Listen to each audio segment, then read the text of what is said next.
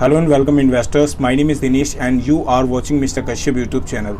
दोस्तों, आज के इस वीडियो के अंदर हम बहुत ही इंटरेस्टिंग शेयर प्राइस के बारे में बात करेंगे। साथ के साथ में मार्केट के अंदर कौन सी ट्रेंडिंग न्यूज़ लेकर के चल रही है कंपनी को, उसके बारे में बात करेंगे। कंपनी के फाइनेंशियल्स के बारे में आपको रूबरू कराएँगे और कंपनी की बैलेंस शीट और इक्विटी शेयर कैपिटल प्लस में लॉन्ग टर्म बोरिंग और शॉर्ट टर्म बोरिंग कंपनी की क्या उन सब चीज़ों के बारे में आज डिटेल में बात करेंगे।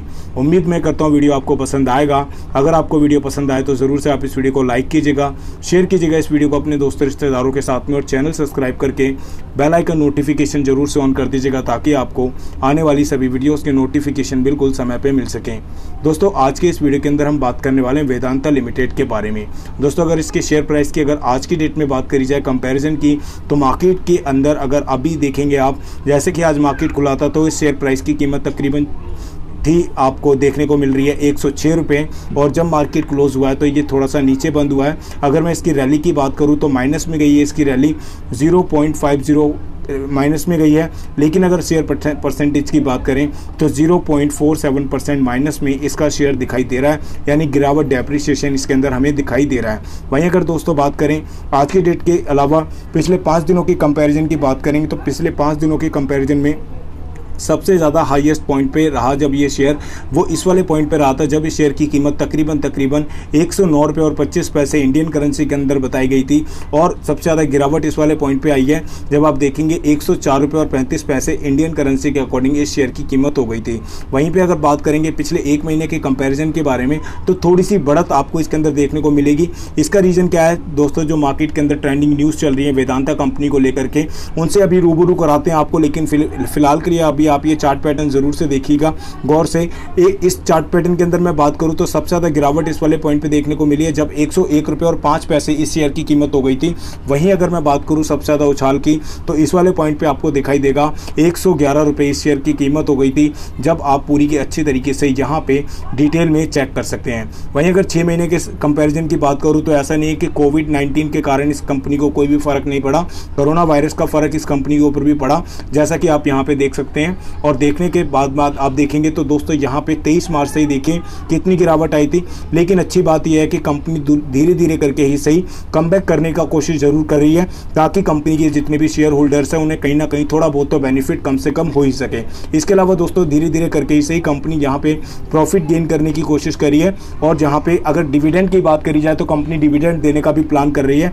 इसके अलावा दोस्तों वेदांता ग्रुप से लेकर के यहाँ पे देख रहे हैं, यहाँ पे क्या न्यूज़ आई है? वेदांता सीख टू ठीक है Size loan up to 2.75 billion for the delighting जो कि आप देख सकते हैं, बहुत ही ट्रेंडिंग न्यूज़ है। दो दिन पहले की न्यूज़ है ये। और यहाँ पे अगर मैं बात करूँ, वेदांता को लेकर निफ्टी और इंडेक्स को लेकर के, ठीक है डिलिस्टिंग के डी लिस्टिंग को लेकर के बहुत ज़्यादा न्यूज़ चल रही है। और वेदांता ग्रुप से लेकर के S B I S B I life जो है रिप्लेस कर दिया है। इन निफ्टी के अंदर जो कि एस बी आई कार्ड को लेकर के है। एंटर फाइव के अंदर ये न्यूज़ आप जाकर के पूरी अच्छी तरीके से चेक कर सकते हैं। इकोनॉमिक्स टाइम पे और लाइव मिनट के ऊपर जाकर के इकोनॉमिक्स टाइम पे ये सारी की सारी न्यूज़ अभी ट्रेंड कर रही हैं। फ़िलहाल के लिए दोस्तों, लिए चलता हूँ आपको कंपनी के फाइनेंशियल्स के ऊपर, जहाँ पे कंपनी के रेवेन्यू की मैं बात कराऊँगा दोस्तों, अगर मैं बात करूँ कंपनी के रेवेन्यू के बारे में तो रेवेन्यू के अंदर भी घाटा दिखाई दे रहा है कंपनी का।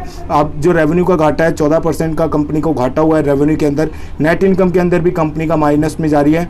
और साथ के साथ में ई e की अगर मैं बात करूँ तो ई e के अंदर भी कंपनी माइनस में जा रही है। लेकिन अच्छी बात यह है कैश ऑन हैंड के बारे में अगर मैं बात करूँ तो कैश ऑन हैंड ज़रूर से बढ़ा हुआ नज़र आ रहा है। सेवेंटी परसेंट का, जो कि एक अच्छी बात है।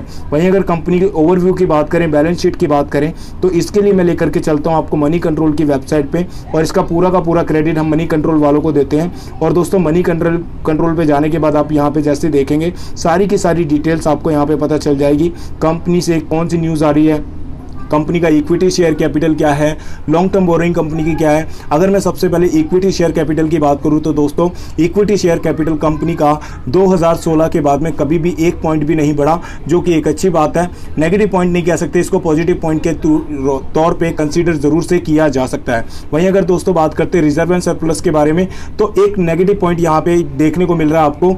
2016 के बाद से रिज़र्व एंड सरप्लस कंपनी का हर साल कम से कम होता गया है, कम होता गया है, जो कि एक नेगेटिव पॉइंट की बोला जा सकता है। नेगेटिव पॉइंट ज़रूर से इसको हम कह सकते हैं। वहीं पर अगर दोस्तों लॉन्ग टर्म बोरिंग के अंदर बात करें तो लॉन्ग टर्म बोरिंग भी कंपनी की लगभग लगभग दो तीन सालों से हर साल बढ़ रही है। और शॉर्ट टर्म के अंदर कंपनी का बोरिंग की बात करी जाए तो यहाँ पे अगर आप देखेंगे तो तीन सालों से लगातार कंपनी की शॉर्ट टर्म की जो बोरिंग्स है, वो कम होती जा रही है। एक जगह पॉजिटिव मार रही है कंपनी एक जगह नेगेटिव मार रही है। इस चीज़ को आप थोड़ा सा देखिएगा स्टडी कीजिएगा और अच्छी तरीके से आपको शेयर के बिहेवियर के बारे में पता चलेगा। लोग अक्सर मुझसे पूछते हैं कि, सर, हमें कौन सा शेयर खरीदना चाहिए? कौन से शेयर को होल्ड करके रखना चाहिए? दोस्तों, इसके अंदर देखिए, मैं आपको बताता हूँ कि हम इसके अंदर आपको सजेस्ट नहीं कर सकते।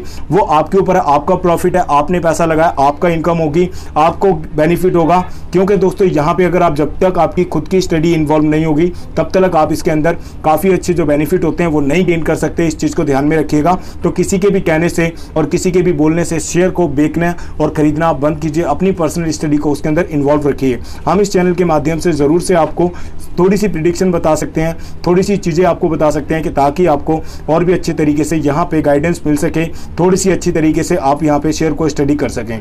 उम्मीद मैं करता हूँ वीडियो आपको पसंद आया होगा। अगर आपको वीडियो पसंद आया है तो ज़रूर से आप इस वीडियो को लाइक कीजिएगा शेयर कीजिएगा इस वीडियो को अपने दोस्तों रिश्तेदारों के साथ में। चैनल सब्सक्राइब करके बेल आइकन नोटिफिकेशन ज़रूर से ऑन कर दीजिएगा, ताकि आपको आने वाली सभी वीडियोज़ की नोटिफिकेशन बिल्कुल समय पर मिल सकें। मैं मिलता हूँ आपसे ऐसी किसी इंटरेस्टिंग वीडियो में। तब तक के लिए लेता हूँ आपसे विदा। गुड बाय टेक केयर जय हिंद।